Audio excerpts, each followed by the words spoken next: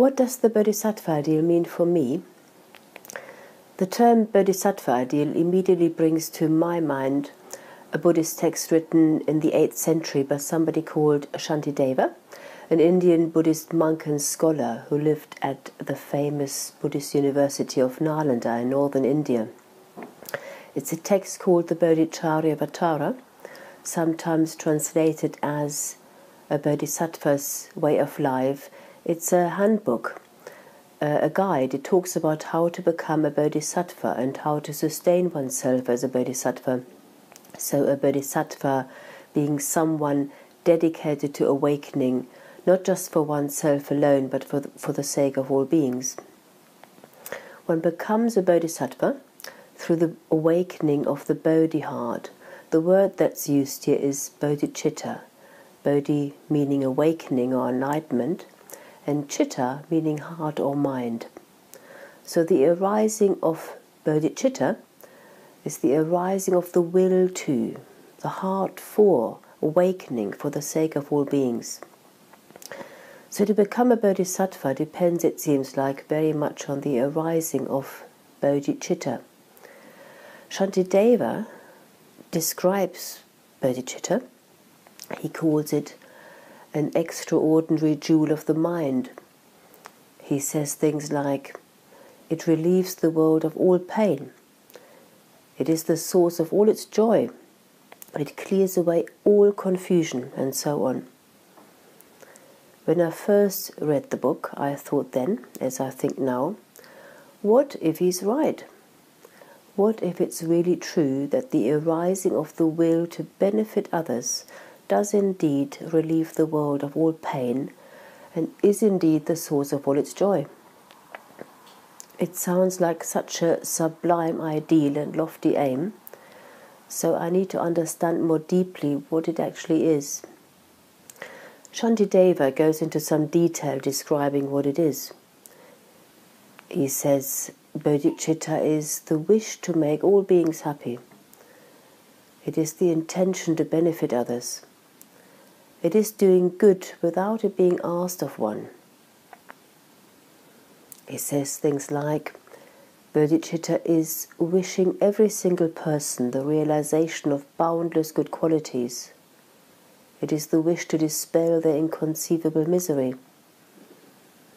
I think it's worth spelling out as the term bodhicitta can sound so lofty and unattainable and divorced from my daily life. But here in this text in plain English, it boils down to this the intention to benefit all beings.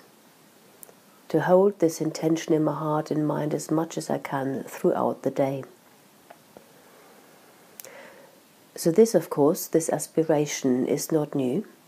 Hundreds of years earlier, one of the first known Buddhist texts, a text attributed to the historical Buddha, covers very similar ground. In the Karaniya Metta Sutta, the Buddha describes the practice of the development of loving kindness, of metta bhavana, a practice taught in the Buddhist tradition all over the world and one of the foundation practices in Triratna. In this text, the Buddha says, Meditate like this. May all be happy and secure. May all beings become happy in their heart of hearts. And think of every living thing without exception, the weak and the strong, from the smallest to the largest whether you can see them or not, living nearby or far away, beings living now or those yet to arise. May all beings become happy in their heart of hearts. And also, of course, we know that the practice of loving kindness is the first precept, which we recite regularly, some of us perhaps even daily.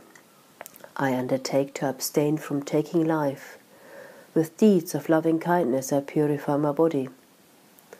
Sangharakshita says of this precept that love is the most direct and most important manifestation of the spiritual and existential act of going for refuge. Moreover, It is a principle that finds expression in all the other precepts as well. So it is clear that the practice of metta, the wish of the arising of bodhicitta, the arising of this heartfelt intention to benefit all beings, lies at the heart of what we do and practice within the Triratna Buddhist community. However, sometimes I wonder if we tend to have a rather narrow understanding of metta, that we limit ourselves in our wish to develop loving kindness, a limitation in terms of its scope. I tend to think there are um, different levels of loving kindness. Firstly, there is the level of practice where we become increasingly aware how breaking the precepts affects our own mental states in a negative way. So if I have hateful or angry thoughts, um, it actually causes me tension and unhappiness and keeps me in the prison of a limited mind. Through meditation, I become more and more aware how much more positive I feel if I'm able to act with kindness, generosity, and contentment. Then, secondly, I also become aware how breaking the precepts affects the people I'm in contact with in my daily life. I see more and more clearly that if I act with aversion or with greed and selfishness, it affects my relationships and it affects how people are around me. And conversely, if I live from an open heart, act generously and with awareness of others, I notice how that has a positive effect in my interactions with others and creates more happiness all around. So, as I continue to practice, it's likely I become more and more ethically sensitive how my actions affect others, and I undertake more and more to act skillfully. However, there is a further level, a third level within my sphere of actions the effect of my actions on the many people beyond my immediate experience. So, we live in a world where the ways we choose to live our lives especially the choices we make as a consumer, has a direct impact on people living far away, out of sight, possibly on the other side of the world, possibly yet to be born. It's like the Buddha said in the Karaniya Metta Sutta. But arguably, we are living in a much more interconnected world than the historical Buddha ever did. So, I can choose to live a life where I forget, for example, to take a bag with me when I go out, and so have to buy a plastic carrier bag every time I go out.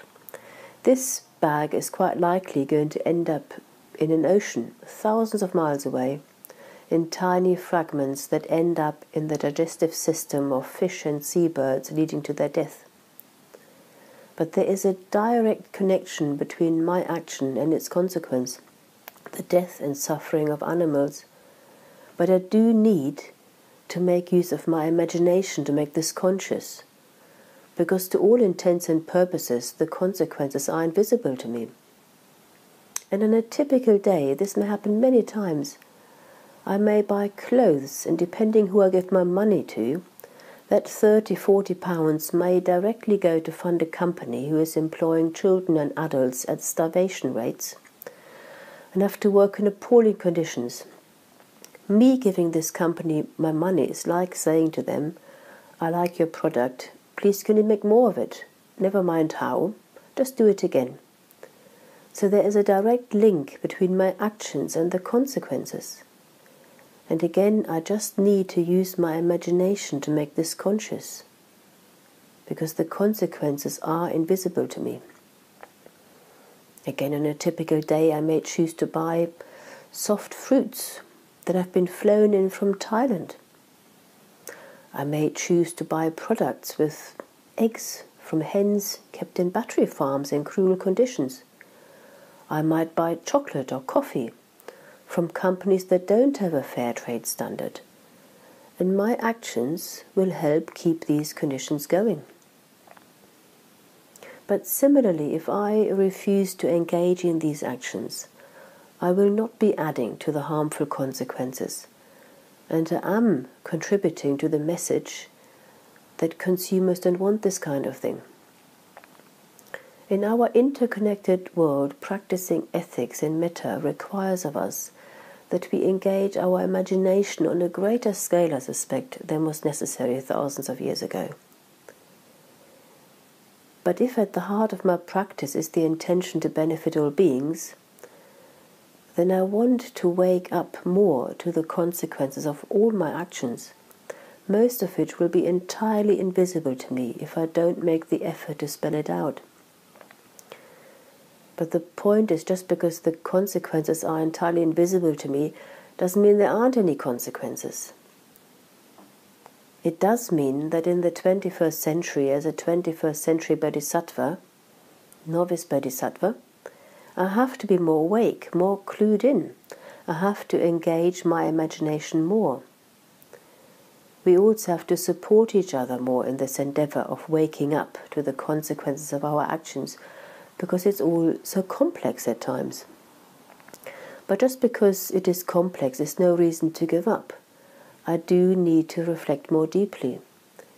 If my aim is the arising of bodhicitta, if my intention is to benefit the world and all that lives in it, then as always I need to expand my horizon of awareness and turn towards what is really going on the Buddha taught that actions have consequences. He taught that as a fact, as a law.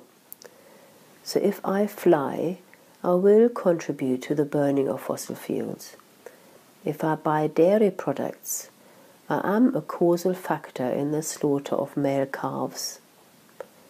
If I buy cheap tea or coffee, the chances are I am directly supporting exploitative labor conditions these are facts, even if I have to engage my imagination to see it, and even if I have to live with the tension and discomfort of those facts. But what the Bodhisattva ideal means for me is to aspire to have a heart big enough to keep turning towards the truth. It is to aspire to have a heart that is big enough to keep including those beings that are linked to me through time and space, and aim to act towards them with generosity, with kindness, with truthfulness, and with as much awareness as possible.